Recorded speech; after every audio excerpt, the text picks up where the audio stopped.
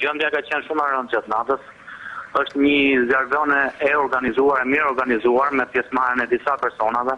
Sa për dijeni, po ju njoftoj që janë tetë vatra zjarri, të vëna qëllimisht, ndaj biznesit të familjes Kajmaku, që është një familje e ndershme, punëtorësh të komunës Prezës, të cilët e kanë ngritur këtë biznes, me me sakrifica prej njëzet vjetësh dhe nuk kanë asnjë konflikt me asnjë person. I vetmi motiv dhe e vetmja pistë ngelet ajo politike.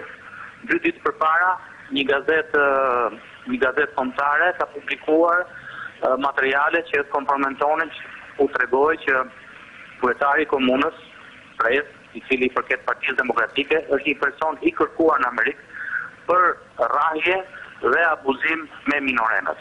Dhe dy ditë mbrapa vjen kundërpërgjigja, mbase edhe si si pasojë e e mbase si pasojë edhe e betejës politike në këtë zonë, ku Partia Demokratike ka humbur terren dhe populli nuk ka ndërmend ta votojë dhe kjo këto janë Kto janë nuk e di po as në nëntëdhjetë e shtatën nuk ka ndodhë kto gjëra që të shkosh të djegësh biznesin dhe banesën një kundërshtari, një qytetari vetëm se vetëm e vetëm se është përfaqësus i partisë socialiste kto gjëra nuk ka ndodhë as në nëntëdhjetë e shtatën. Zoti Gaxhi si paraqitet gjendja e familjarëve më thatë pak më herët që janë shpëtuar djali dhe bashkëshortja e kreut të komunës e kreut të partisë socialiste në komunë nga të afërmit e tyre.